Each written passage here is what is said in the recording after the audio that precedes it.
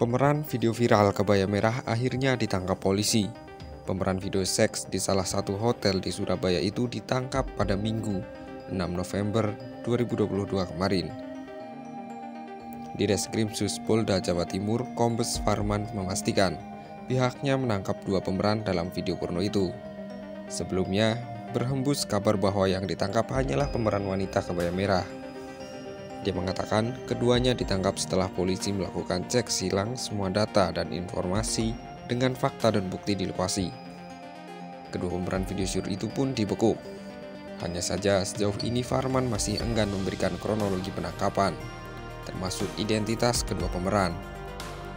Namun demikian, dia memastikan bahwa Polda Jatim akan merilis kasus tersebut.